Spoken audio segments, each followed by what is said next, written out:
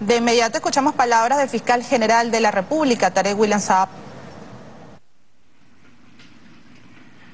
Buenas tardes, tengan todos ustedes, pueblo de Venezuela, medios de comunicación presentes, tanto nacionales como internacionales.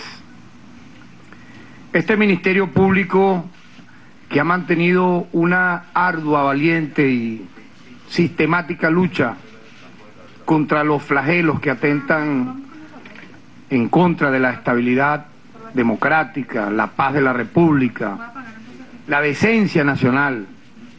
Particularmente hemos dado balances muy importantes en relación, por ejemplo, al combate al narcotráfico. Uno de los flagelos, o tal vez el peor flagelo que azota a la humanidad. El día de hoy, en relación a esta lucha implacable que hemos mantenido a partir del 5 de agosto del año 2017, cuando fuimos designados fiscal general de la República por la Asamblea Nacional Constituyente, y ante las graves evidencias hechas ya públicas a nivel mundial en las últimas horas respecto a la vinculación del ciudadano Juan Guaidó con el grupo narcoparamilitar conocido como los rastrojos, este ministerio ha decidido abrir una investigación penal. Y los medios de pruebas saltan a la luz pública. Yo quisiera muy brevemente, por ejemplo, mencionar lo que publica el diario El País de España, un diario que nadie pudiera para nada calificar de cercano al Estado venezolano, todo lo contrario. Y vean ustedes cómo el diario El País de, España reseña esto que ya brevemente estoy mencionando. Dice aquí, unas fotos en las cuales no solamente se vincula al ciudadano Juan Guaidó con este cartel asesino, los rastrojos, sino también al propio presidente Iván Duque. ¿O es que el presidente Iván Duque no sabía que en esta zona de la frontera colombo-venezolana operaba esta organización asesina? Que vamos a dar algunos detalles de sus tropelías en contra de la paz pública tanto en la frontera colombo-venezolana como en la propia nación colombiana. Aquí se puede leer, unas fotos con narcos en la frontera disparan las acusaciones contra Guaidó y Duque. Un escándalo mundial. Igualmente, quiero reseñar, vean ustedes aquí, el diario El Espectador de Colombia. Aparecen igualmente las fotos donde Juan Guaidó, así mismo, Juan Guaidó, simple y llanamente, con narcopalamilitares en la frontera colombo-venezolana.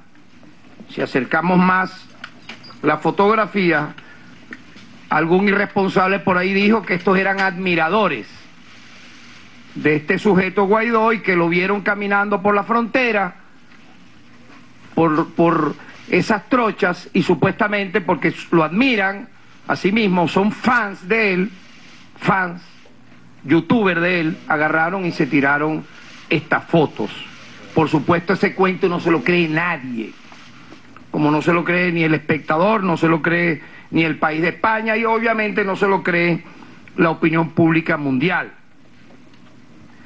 Nosotros queremos reseñar un poco porque la gente tiene que saber quiénes son estos sujetos, qué banda criminal ya popularmente difundida es Los Rastrojos. Son una banda criminal conformada por disidentes de la Autodefensa Unidas de Colombia, nada más y nada menos que aquel grupo paramilitar que se desmoviliza en el año 2006, pero eso fue un parapeto.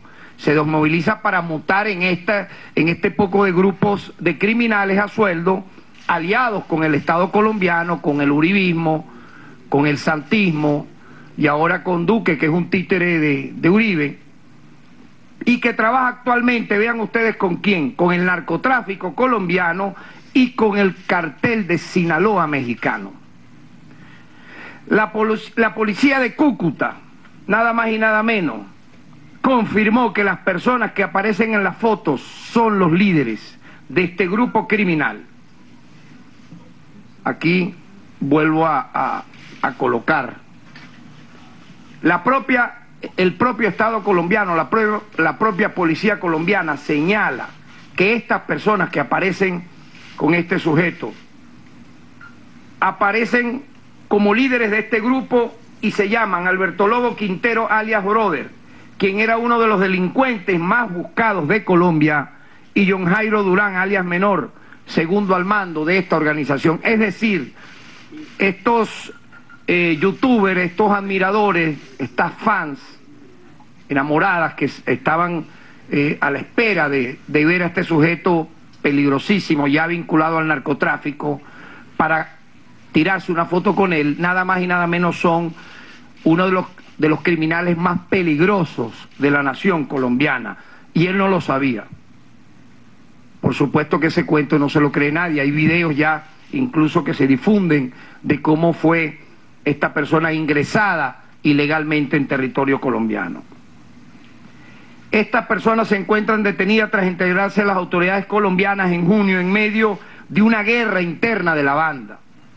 Se les señala por delitos de narcotráfico, asesinato, extorsión, concierto para delinquir, uso de armas de guerra, entre otros. Cito al senador Gustavo Petro, ex candidato presidencial a la República de Colombia. Él ha informado, una persona a quien conocemos y es un defensor de derechos humanos, él ha señalado que esta banda tiene inclusive una casa dedicada al descuartizamiento de personas en Puerto de Santander. Los colombianos llaman coloquialmente a este tipo de, de mataderos humanos casas de pique, imagínense. O sea, no solamente se dedican ellos al narcotráfico, sino también a descuartizar seres humanos en esta zona conocida como Puerto de Santander. Por lo tanto, no se trata de una simple foto, no.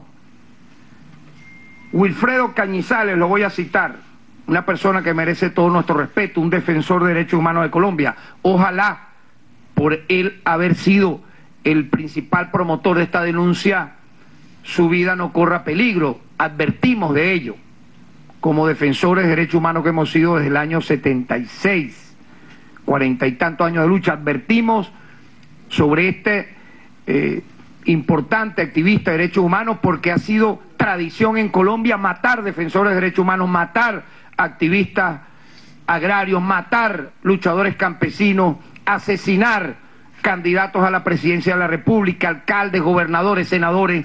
Y bueno, cito a Wilfredo Cañizales, quien es director de la Fundación Progresar en Norte de Santander, quien informó, oigan bien esto, que la entrada de Guaidó a Cúcuta fue por Puerto Santander, donde está esta conocida matadero humano, casa de pique, para este grupo Los Rastrojos asesinar en masa a quienes sean sus incómodos eh, prójimos.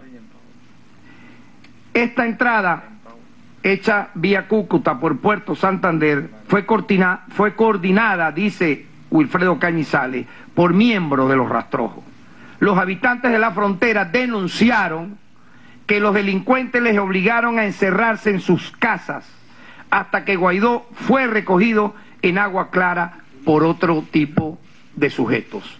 Es decir, está confirmado que prácticamente el grupo paramilitar Los Rastrojos aplicó un toque de queda, un toque de queda durante un día entero, durante las 24 horas, dicho por los propios habitantes de esta frontera donde denunciaron que los obligaron a ello para que este sujeto Guaidó, hoy vinculado nada más y nada menos que al narcotráfico colombiano y a los paramilitares colombianos, pudiera pasar a lo que se llamó el cucutazo, nada más y nada menos que una revuelta que finalmente terminó en robo, en sevicia, en prostitución, en tráfico de todo tipo de estupefacientes y en todas las denuncias que hemos conocido de desertores de la Fuerza Armada Nacional Bolivariana en un número superior a 300 que los dejaron como mendigos luego que les prometieron villas y castillos en las calles de Colombia.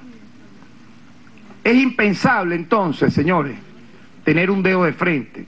luego de estas denuncias que hace Wilfredo Cañizales, quien merece todo nuestro respeto como activista de derechos humanos, y los medios de Colombia y los medios del mundo entero, suponer que fue una simple fotografía de unos fans enamorados que quisieron tirarse una foto en la frontera con este sujeto. Imposible. Puesto que ahora cabe la gran interrogante, y es una hipótesis de investigación. ¿Sabía el gobierno de Iván Duque de que estos paramilitares narcotraficantes del grupo Los Rastrojos iban a ser las guardias de honor de este ciudadano Guaidó para entrar ilegalmente a Colombia? Nosotros pensamos o podemos suponer que sí lo sabían. O sea, entregaron la entre, vean ustedes, entregaron la custodia de este ciudadano Guaidó para entrar a Colombia nada más y nada menos que a un grupo paramilitar criminal. No es ninguna sorpresa, puesto que Colombia tiene una fama planetaria y global de ser un narcoestado cuyos miembros principales, para usted ser candidato a la presidencia de la República y ganar una presidencia como ocurrió con Uribe, o para ganar alcaldías o gobernaciones o tener curules, tiene que tener una conexión muy poderosa con grupos de narcotraficantes. Por lo tanto, esa hipótesis de investigación es muy clara. ¿Sabía el gobierno de Iván Duque, el presidente Iván Duque, que la entrada ilegal de Guaidó a Colombia iba a estar supervisada, protegida y totalmente armada, pues, por este grupo criminal conocido como los rastrojos. Igualmente quiero, quiero señalar que una de las personas que aparece en la fotografía no está con una eh, cámara fotográfica para hacer turismo, anda armado. Entonces cualquiera diría, y eso no lo sabía el ciudadano que se fotografió con él. Es decir, evidencia sobran, medios de pruebas, medios de prueba sobran al respecto. Sin embargo, yo quiero agregar ahora otro detalle que tiene que ver con Venezuela, con la justicia venezolana. En marzo de este año fue detenido en Valencia, Estado Carabobo, uno de los líderes de los rastrojos, quien se encontraba en nuestro país de manera clandestina. Esta persona se llama Wilfredo, Wilfrido Torres Gómez, alias Neco. Esta captura fue posible gracias a las pruebas, a la delación aportada por Roberto Marrero, jefe de despacho de Guaidó tras su detención.